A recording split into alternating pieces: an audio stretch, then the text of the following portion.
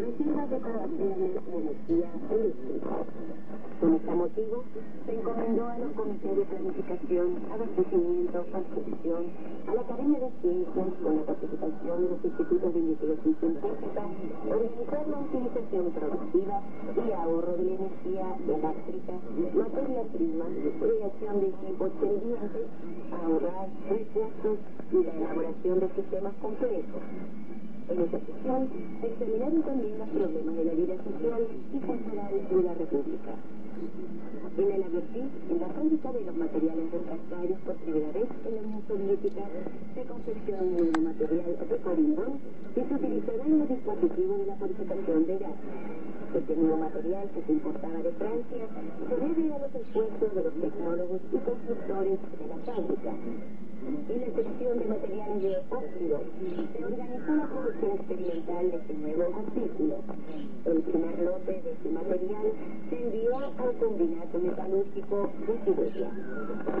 El Consejo de Ministros de la República cumplió la petición del patriarca letón armenio, Bastián I, respecto a la entrega de los templos armenios en función Tatev y Macarapán a Echmiadzin. El templo Tatev se encuentra a la distancia de 58 kilómetros de Gorila. Es uno de los monumentos de arquitectura antigua que se construyó en las rocas en los siglos 9 a 17. En los siglos 14 y 15, en Tatev funcionaba la universidad fundada por el filósofo Vanés Gorotnetsky. Los elementos del templo Tatev durante su funcionamiento secular se destruyeron y se restauraron varias veces. Actualmente, aquí se llevan a cabo los trabajos de restauración.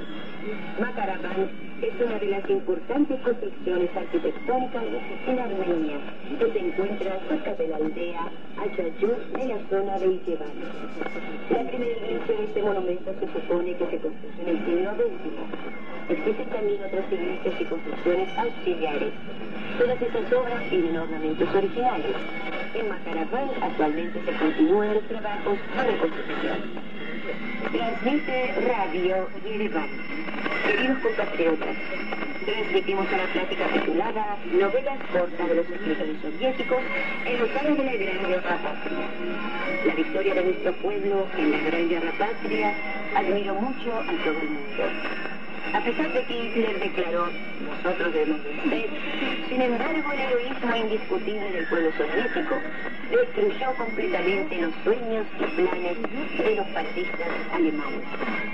Ellos no lograron realizar sus planes, pero cometieron el crimen que nunca lo vio la humanidad.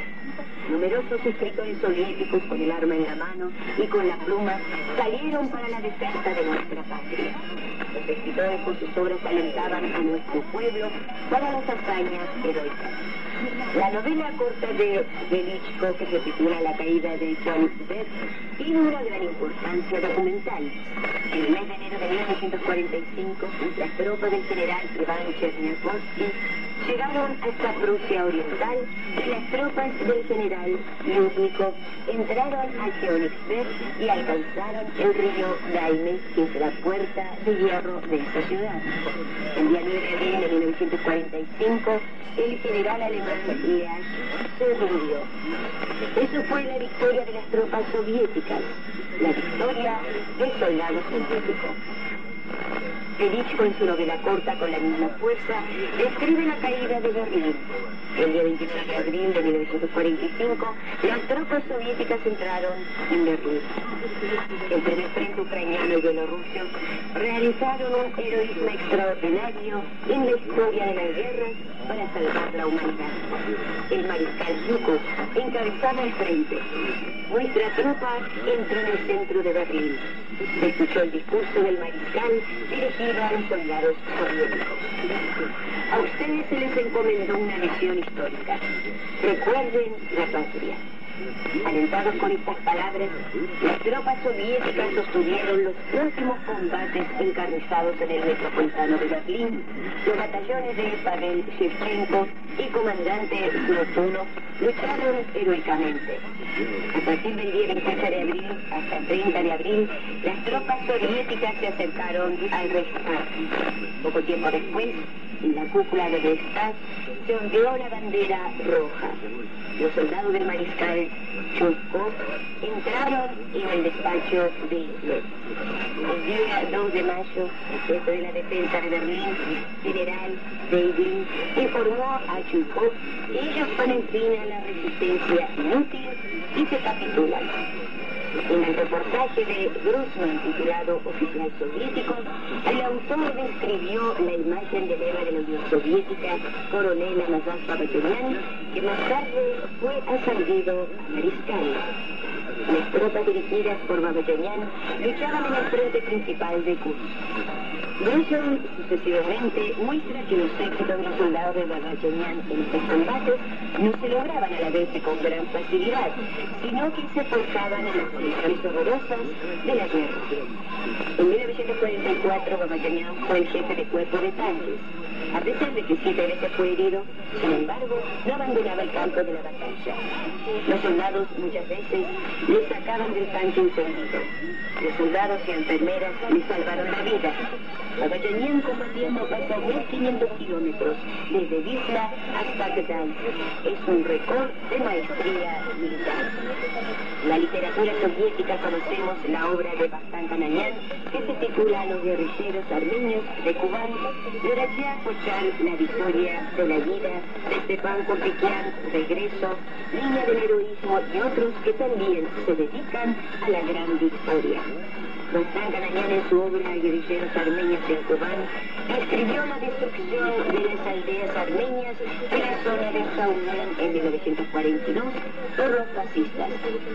A título de venganza, los guerrilleros armenios realizaron una serie de acciones militares en los que participaron Kamsar y Makar Turumian, Isaac Partalian, Rubén Arakelian, Andranik Manfasian, junto con ellos, los colcosianos de Ucrania y Bielorrusia, Taraso, Baña, Nikolenko y otros. Terminamos nuestra transmisión Valor de oyentes de América Latina. Ustedes pueden escucharnos diariamente de 8 a 9 de la noche de Buenos Aires por la onda 31,7 metros, frecuencia en 1470 kHz y por la onda 31,6 metros, frecuencia en 1480 kHz. El resumen en castellano leyó a María Cristina Birmengen.